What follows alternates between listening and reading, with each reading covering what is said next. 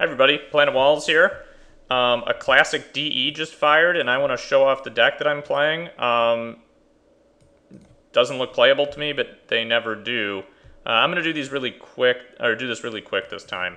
So, seven ramp spells uh, in the form of creatures, two removal spells here, um, two missteps, four brainstorms. A lot of these things are fairly self-explanatory. I could talk about them more. Uh, this is a four-color deck that's based on Zur the Enchanter.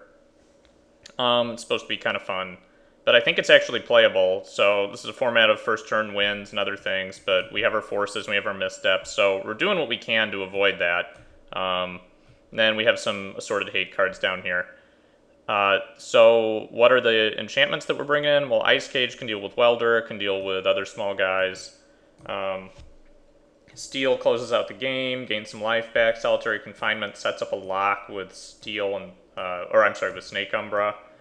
Um, Snake Umbra draws cards. Back to basics can mana screw our opponents. Detention Sphere is all-purpose removal, and Energy Flux can screw over the artifact decks. Then we have um, some assorted creatures that actually close out the game or lock up the game in other situations, basically other threats. Mana base has four caverns and actually two City of Brass. I'm using Chris's strategy from the Invitational. Um, assorted fetch lands, a Karakas, and uh, dual lands. Um, so a couple different outs and win cons. It's fairly quick to ramp into Zur and enough counter magic, hopefully, to hold off some of the control decks.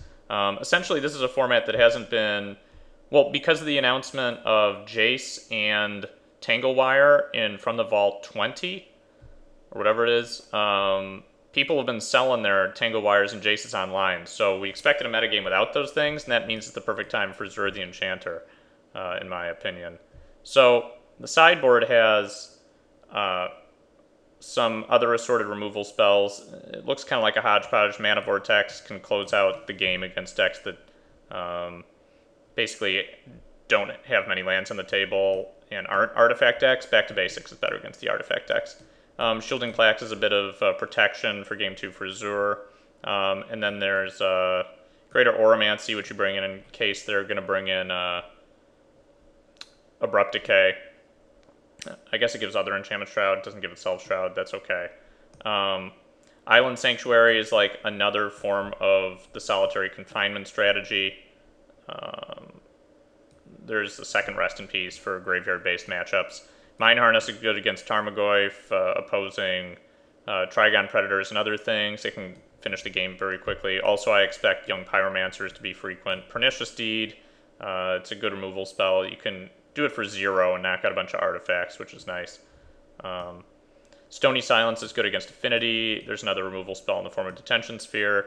This is also good against Artifact X, Shop, um, which are probably going to be less prevalent. Illness in the Ranks is good against Affinity. It's also has uh, an effect against Dredge and also against Oath because you can eliminate the spirit tokens that they give you so their Oath doesn't trigger.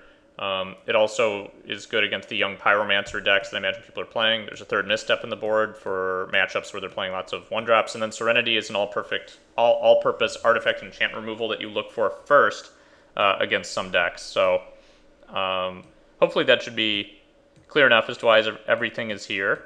Uh, thank you guys for watching. I hope you enjoyed the show.